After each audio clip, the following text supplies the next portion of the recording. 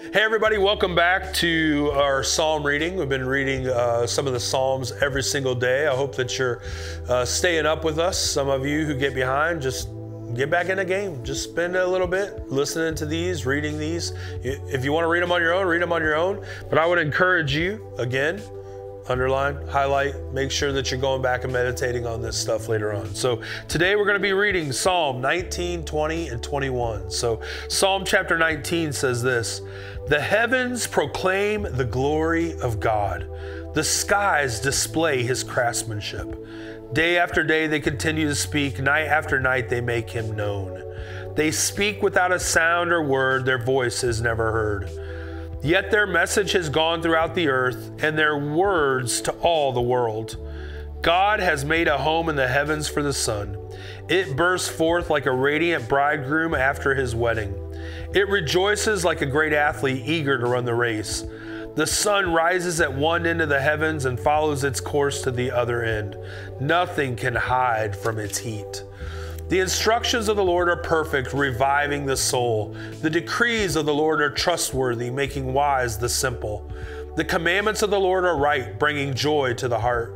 The commands of the Lord are clear, giving insight for living. Reverence for the Lord is pure, lasting forever. The laws of the Lord are true, each one is fair. They are more desirable than gold, even the finest gold. They are sweeter than honey, even honey dripping from the comb. They are a warning to your servant, a great reward for those who obey them. How can I know all the sins lurking in my heart? Cleanse me from these hidden faults. Keep your servant from deliberate sins. Don't let them control me. Then I will be free of guilt and innocent of great sin. May the words of my mouth and the meditation of my heart be pleasing to you, O Lord, my rock and my redeemer. Psalm chapter 20. In times of trouble, may the Lord answer your cry. May the name of the God of Jacob keep you safe from all harm. May he send you help from his sanctuary and strengthen you from Jerusalem. May he remember all your gifts and look favorably on your burnt offerings. May he grant your heart's desires and make all your plans succeed. May we shout for joy when we hear of your victory and raise a victory banner in the name of our God. May the Lord answer all your prayers. Now I know that the Lord rescues his anointed king. He will answer him from his holy heaven and rescue him by his great power. Some nations boast of their chariots and horses, but we boast in the name of the Lord our God.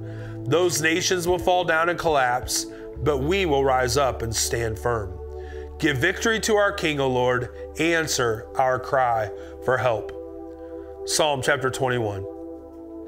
How the king rejoices in your strength, O Lord. He shouts with joy because you give him victory. For you have given him his heart's desire. You have withheld nothing he requested. You welcomed him back with success and prosperity. You placed a crown of finest gold on his head. He asked you to preserve his life, and you granted his request. The days of his life stretch on forever. Your victory brings him great honor, and you have clothed him with splendor and majesty. You have endowed him with eternal blessings and given him the joy of your presence. For the king trusts in the Lord. The unfailing love of the Most High will keep him from stumbling. You will capture all your enemies. Your strong right hand will seize all who hate you. You will throw them in a flaming furnace when you appear. The Lord will consume them in his anger, fire will devour them. You will wipe their children from the face of the earth, they will never have descendants. Although they plot against you, their evil schemes will never succeed, for they will turn and run when they see your arrows aimed at them. Rise up, O Lord, in all your power. With music and singing, we celebrate your mighty acts. This is really uh, such a great scripture. I love basically, again, he's going back through in times of trouble, you hear our cry, you grant our desires, you raise up victory. May the Lord answer all your prayers. But I love this when it gets down to this um, part. It says, Some trust in chariots, some trust in horses, but we boast in the name of the Lord. And it's important for us uh, as we're doing this, again, to put ourselves in position that we get to partner with God in this But we don't boast in those physical things, and we don't boast of our own strength. When I start talking, sometimes it's hard to differentiate between uh, people who are posturing their own strength or people who have faith that God is going to show up. Both of them in the moment could look like we're talking uh, the same things.